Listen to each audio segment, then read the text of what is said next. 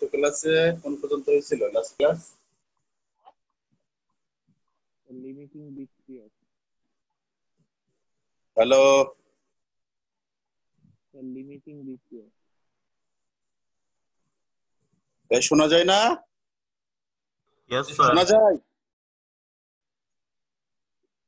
আমার কথা শোনা যায় যায় স্যার। বলো লাস্ট ক্লাসে কোন পর্যন্ত হয়েছিল? লাস্ট ক্লাস স্যার লিমিটিং বিক্রিয়ক হ্যাঁ লিমিটিং বিক্রিয়ক।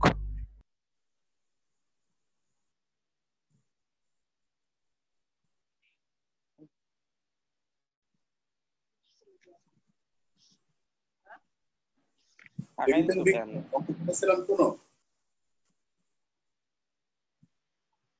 হ্যাঁ? লিমিটিং বিক্রিয়কের কোনো অঙ্ক করানো হয়েছিল? স্যার হ্যাঁ স্যার লিমিটিং হ্যাঁ? বিক্রি করানো হয়েছিল। অঙ্ক করাইছিলাম কোন? হ্যাঁ স্যার করানো হয়েছে স্যার কয়টা? স্যার একটা করাইছেন। ও ওই যে হাইড্রোজেনের এইচ সেল না? হ্যাঁ স্যার আচ্ছা দেখো আরেকটা দেখো আচ্ছা দেখো লিমিটিং রিঅ্যাক্ট্যান্টের সেকেন্ড ম্যাথ দেখো।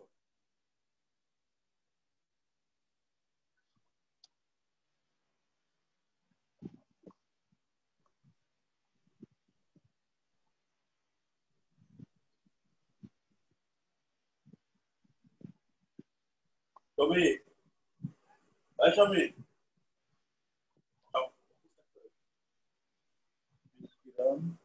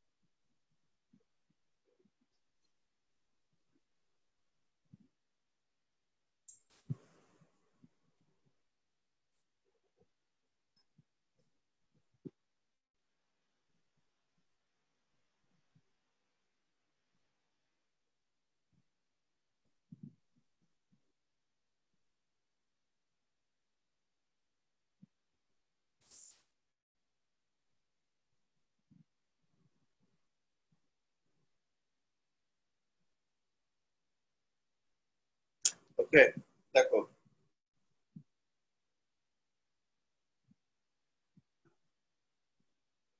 দেখো বিশ গ্রাম নাইট্রোজেন এবং ত্রিশ গ্রাম অক্সিজেন গ্যাস মিশ্রিত করলে উপযুক্ত পরিবেশে এনও গ্যাস উৎপন্ন হয়। ক নম্বর লিমিটিং রিঅ্যাকশন বের করো, কোন উপাদানটি অবশিষ্ট থাকবে এবং বিক্রিয়ায় কত গ্রাম এনও উৎপন্ন হবে। ঠিক আছে, শোনা যাচ্ছে? বাচ্চারা শোনা যাচ্ছে? Yes, sir. Yes, sir. Ah, আচ্ছা দেখো অঙ্কটা দেখো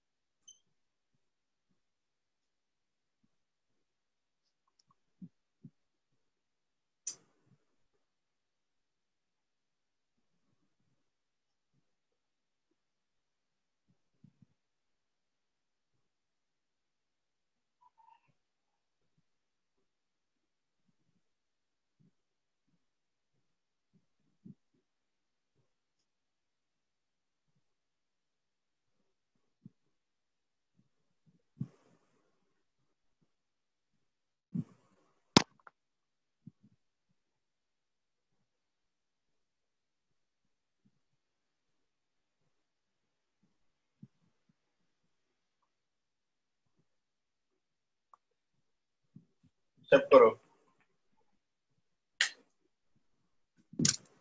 হিসাব করে দেখো তো হিসাব করো। আচ্ছা হিসাব করছ? Sir twenty six point two five বত্রিশ গ্রাম অক্সিজেন বিক্রিয়া করে আট সমীকরণ মধ্যে বত্রিশ গ্রাম অক্সিজেন বিক্রিয়া করে আঠাশ গ্রাম নাইট্রোজেনের সাথে একই কথা। আর অক্সিজেন দেওয়া আছে তিরিশ গ্রাম তাহলে কতটুকু আছে কতটুকু হচ্ছে? স্যার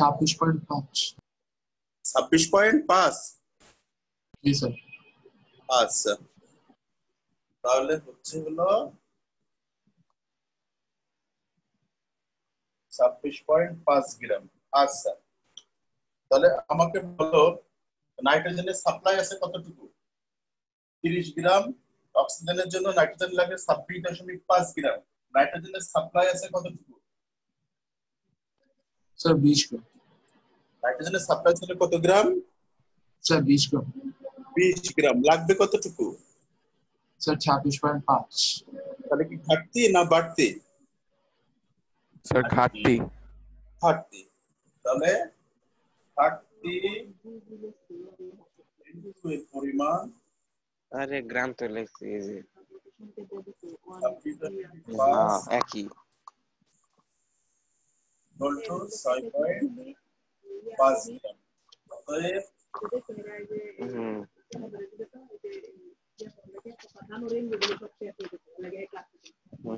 কইছে আন্ডা ক নম্বর ক্লিয়ার সবাই ক্লিয়ার হয়েছে? সবাই বুঝছ? ছেলেরা সবাই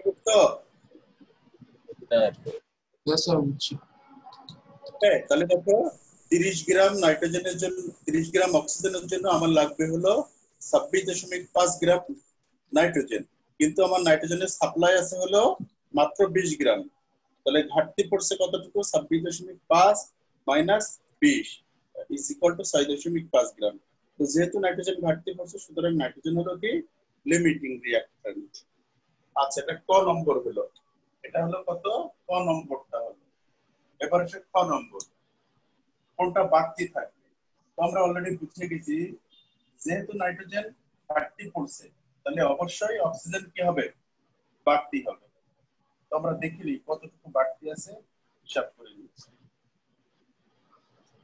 ছ নম্বর। সমীকরণ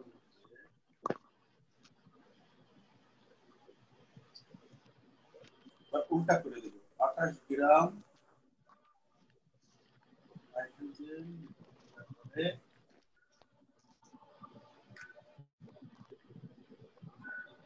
তারপরে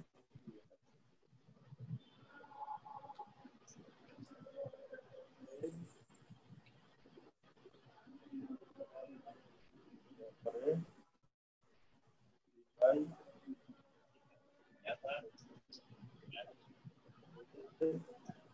নাইট্রোজেন দেওয়া আছে কত তাহলে কত হয় sir twenty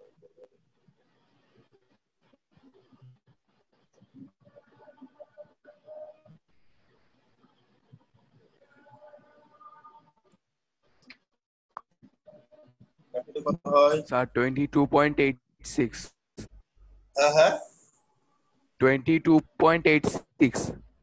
twenty two point eight six gram আচ্ছা তাহলে দেখো বিশ গ্রাম নাইট্রোজেনের জন্য বিশ গ্রাম নাইট্রোজেনের জন্য অক্সিজেন লাগে twenty two point eight six gram আমার অক্সিজেনের সাপ্লাই আছে কতটুকু? তিরিশ গ্রাম অক্সিজেন কত অক্সিজেন কতটুকু দেওয়া হয়েছে? স্যার তিরিশ গ্রাম তিরিশ গ্রাম। তাহলে বাড়তি আছে না ঘাটতি আছে? স্যার বাড়তি। বাড়তি বা অতিরিক্ত O2 এর পরিমাণ।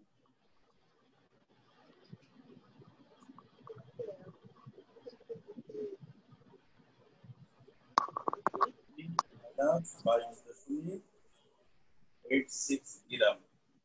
Equal to হয় seven point one four okay দেখছ? তাহলে খ নম্বর হয়ে গেল। তাহলে আমরা বুঝে গেলাম যে বাড়তি আছে অক্সিজেন বা অতিরিক্ত আছে অক্সিজেন। আর কতটুকু অক্সিজেন অতিরিক্ত আছে সেটা হলো seven one point seven point one four gram তাই না? Seven point one four gram oxygen কি আছে? অতিরিক্ত আছে। Seven point one four gram oxygen অতিরিক্ত আছে, ঠিক আছে? তো আমরা অলরেডি আগেই জেনে গেছি যে ইয়ে হলো লিমিটিং রিঅ্যাক্ট্যান্ট নাইট্রোজেন হলো কি লিমিটিং রিঅ্যাক্ট্যান্ট তাহলে এটা আমরা জেনেই গেছি আগে ওকে নাইট্রোজেন হলো লিমিটিং রিঅ্যাক্ট্যান্ট এটা আমরা আগেই জেনে গেছি আচ্ছা এখন দেখো আমরা গ নম্বর হিসাব করব। গ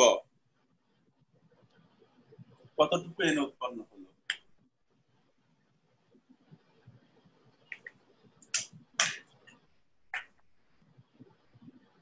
গ নম্বর তোমরা জানো আমরা এন টু যে লিমিটিং এটা তো আমরা আগে বের করে ফেলছি।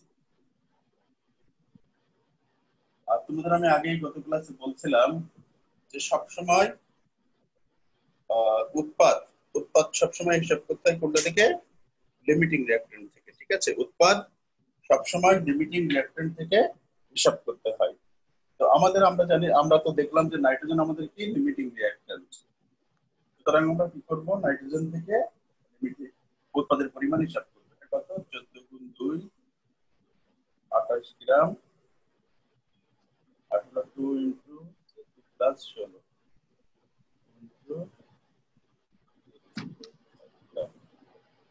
ঠিক আছে তো আমরা কি বললাম যে আমরা জানি সবসময় উৎ- উৎপাদ হিসাব করতে হয় লিমিটিং থেকে।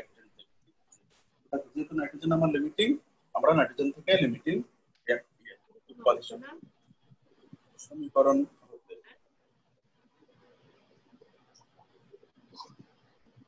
আঠাশ গ্রাম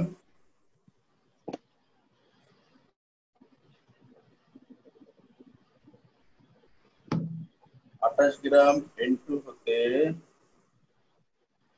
এন উৎপন্ন হয়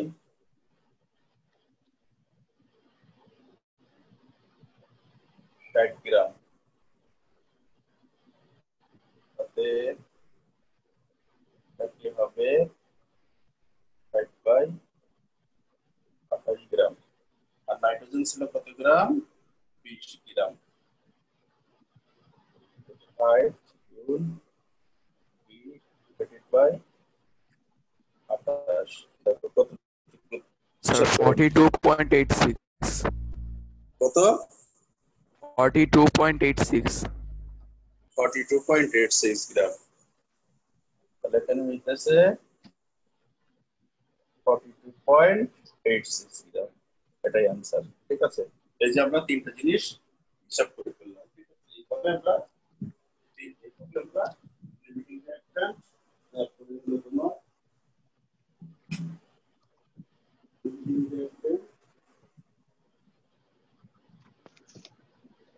তারপরে কোনটা অতিরিক্ত আছে এবং এইভাবে আমরা উৎপাদের পরিমাণ হিসাব করে ঠিক আছে ক্লিয়ার সবার? সবার ক্লিয়ার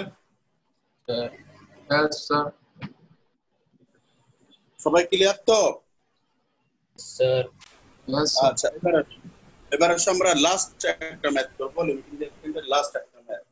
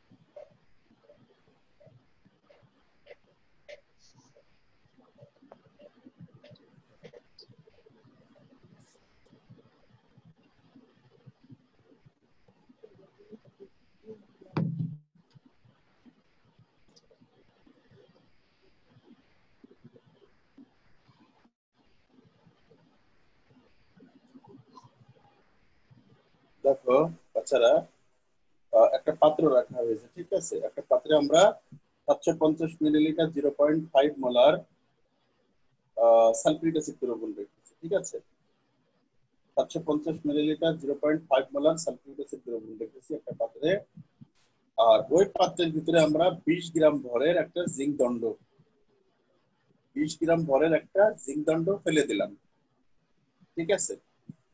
যখন বিশ গ্রাম ভরের একটা জিঙ্ক দণ্ড ফেলে দিলাম সাথে সাথে জিঙ্ক জিঙ্ক দণ্ড সালফিক অ্যাসিডের সাথে বিক্রিয়া করে একটা গ্যাস উৎপন্ন করল গ্যাসটার নাম দিলাম আমি এক্স টু গ্যাস ঠিক আছে কথা উদ্দীপকটাকে বুঝছ ছেলেরা.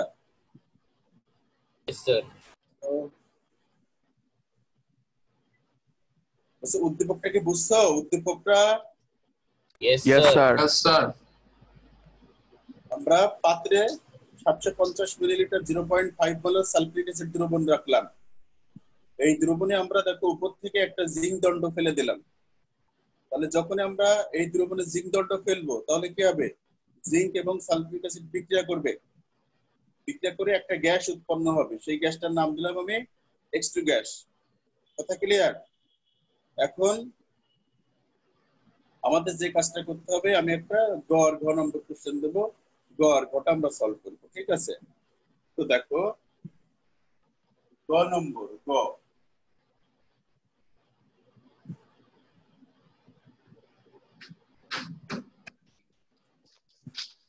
কি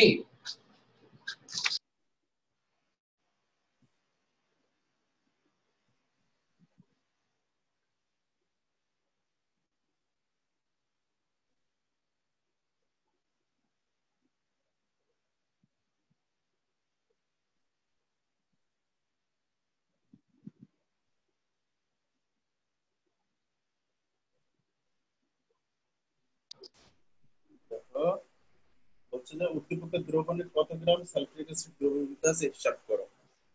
কতটুকু সালফিক অ্যাসিড দ্রবীভূত আছে হিসাব করতে বলছে। আর ছ নম্বর হলো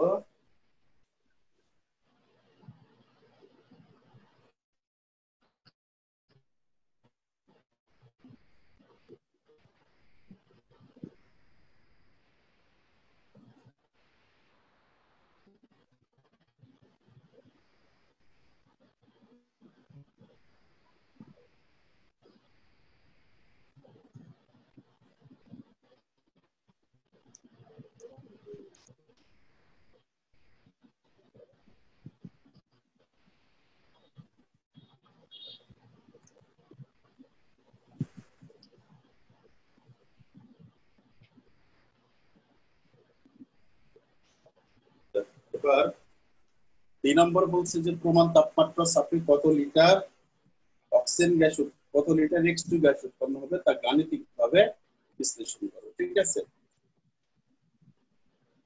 কোশ্চেন দুটো বুঝছ Yes, sir. Yes, sir. হ্যাঁ Yes, sir. এখন দেখো আমরা গ আর ঘ সলভ করব ঠিক আছে গ নম্বর আর গ নম্বরটা সলভ করব